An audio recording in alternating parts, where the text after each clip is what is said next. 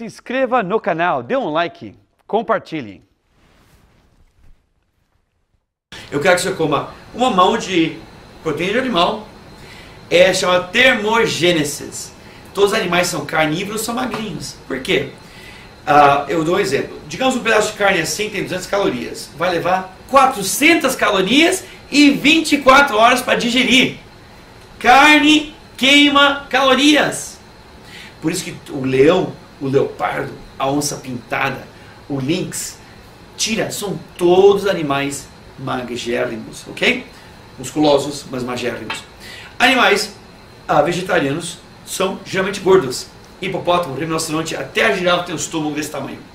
Então, carne, essa quantidade, e três mãos de ah, frutas e vegetais. Por quê?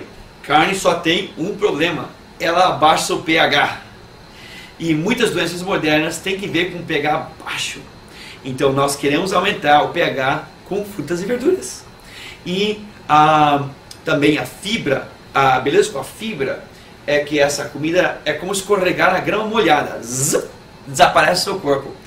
Toda comida tem um elemento carcinogênico. Então é muito importante comer fibra, porque a comida não fica contra as células do seu intestino, causando um câncer. Ela deixa a nutrição e vai embora, ok? Desculpe, não quero ofender os vegetarianos, mas nós não somos vegetarianos. O que é que Jesus deu para os 5 mil? Ele deu peixe e pão de centeio. O que é que Moisés deu, se você não é cristã, uh, muçulmana ou uh, judia? O que é que uh, Moisés deu para os 2,5 milhões saindo do Egito? Codorna, abre a Bíblia, codorna e mana, uma plantinha do deserto de Israel.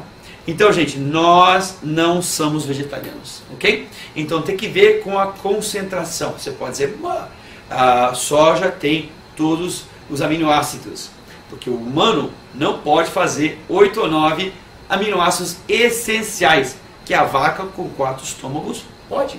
Nós não podemos, ok? Nós somos como ursos, somos omnívoros, precisamos de uh, frutas e vegetais e precisamos de carne, ok?